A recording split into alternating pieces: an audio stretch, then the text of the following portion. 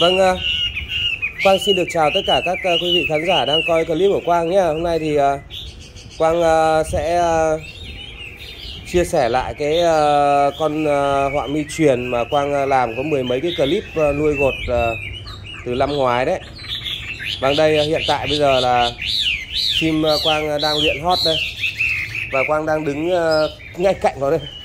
Đấy thì với cái chú chim này thì à, với Quang là chủ nuôi của nó thì à, gần như là nó quá thuần với cả chủ nuôi. Đấy.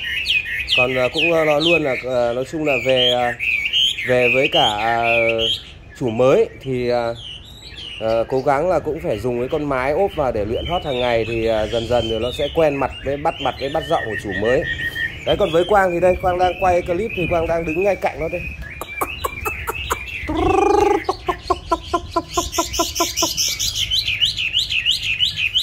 À, cái uh, con uh, than truyền này là Quang mua của cái bạn uh, Kiên Lê uh, Facebook miễn uh, Lick uh, Kiên Lê ở Hà Giang. À, năm ngoái Quang mua với cái giá cũng tương đối cao là 3 triệu.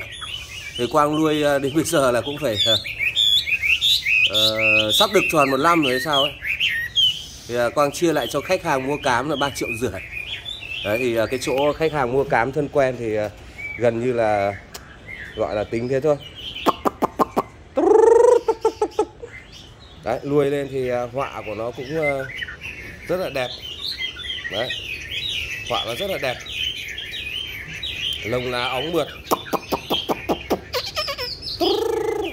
Quang chia lại cho khách hàng mua cá của Quang ở Hải Phòng. Đấy. À, con chim này thì ờ, nói đúng ra là Quang cũng mới chỉ nuôi được ở nhà thôi Treo ra nó chơi tốt thôi chứ chưa mang đi dãi dượt bao giờ cả. Đấy. Nói chung là giọng thì à, cái lúc mua là nó là chim truyền ấy thì cái clip của uh, thợ bán người ta quay là nó cũng cứ tọc tọc tọc tọc nó lắc lư nó gật gù thì nói chung là con chim này là cũng tương đối nhiều giọng. Đấy đảo rất là nhiều giọng. Đấy. vâng à, quang à, đăng à, à, rõ ràng là từng cái chú chim một của mình nuôi gột và mình à, bán cho khách để cho anh em đỡ phải à, à, có nhiều anh em là cứ hỏi nhiều là không biết là bây giờ con chim nó đâu. Thì đây là cái chú chim truyền à, làm cái clip à, mười mấy clip đấy và bây giờ quang à, nó đúng ra là cũng không định bán đâu nhưng mà cũng vì là khách hàng mua cá mà quang thì cũng tương đối là thân quen mà lấy cũng mấy năm nay rồi. Mà lấy cũng rất là nhiều cám nên là quang nhượng lại cho khách hàng mua cám thôi. Đấy cái chú chim mà quang nuôi lên là rất là đẹp rồi đấy nó đẹp lắm chứ nó không phải như là cái chim truyền mà mua bán ở trên mạng đâu nhá Đấy, mọi người thấy cái sản phẩm cám của Quang này Đấy May quá nó đang nó đang đọn vậy. Đó Để cho quay cho mọi người xem cái ờ,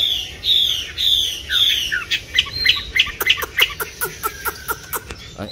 Quay cái máy này nó không được ờ, đẹp lắm Mà bây giờ tầm này nó không có nắng Hiện tại bây giờ Quang đang quay clip vào lúc ờ, 4 giờ chiều.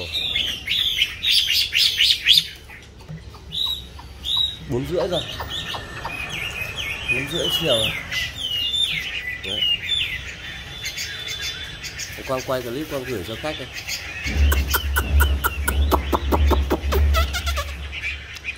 Thực ra thì bây giờ quang cũng không ờ, đam mê cái con ờ, họa mi như trước nữa thì mua về để làm clip để cho uh, anh em biết cái cách nuôi gột con chim truyền thôi. Đấy.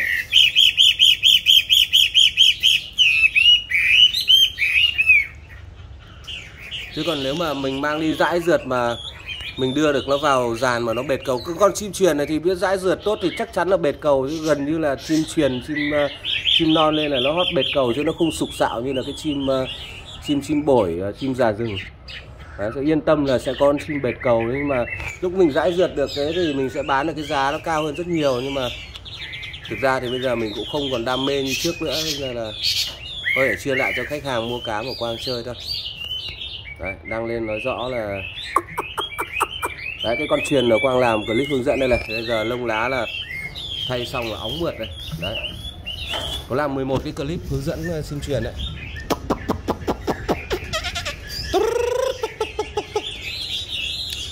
Đây thì ờ, giờ Quang chia lại cho khách hàng ờ, mua cá một Quang nhé. Đấy. y xì lúc mua về lúc truyền như nào thì bây giờ nó đi y xì thế. Một bên họa của nó nó hơi bị một tí lông nó che đi.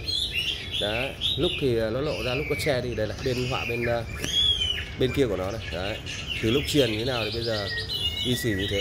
Đấy, thay lông xong vẫn thế. Thế đầu giờ thay lông lá xong là rất là đẹp óng mượt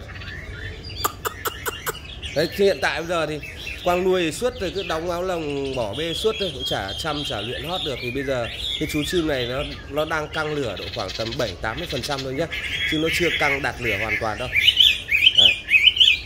vâng thì à, quang à, chào mọi người nhé để cho quang nói rõ là những cái chú chim quang nuôi như nào và chia cho khách uh, uh, chia cho uh, bùi mạnh cường ở hải phòng nhé đấy.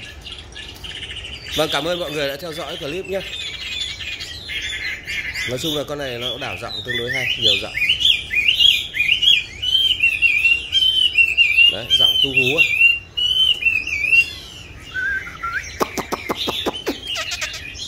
Nó cứ ờ, mỗi một năm thì nó sẽ cho có rất là nhiều giọng những cái con chim như này là nó học được tất cả các giọng chịu khó luyện hót thì là nó ra ra sau này nó đảo được rất nhiều giọng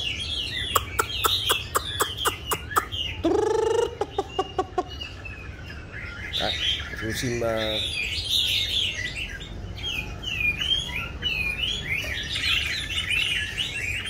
hót rất là êm. Vâng chào mọi người nhé